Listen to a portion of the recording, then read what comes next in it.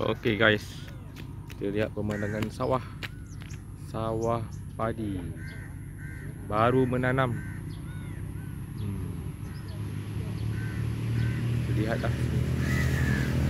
Suasana kampung.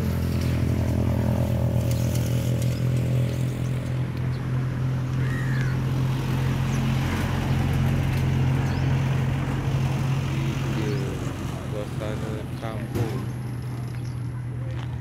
suasana kampung kita aktiviti memancing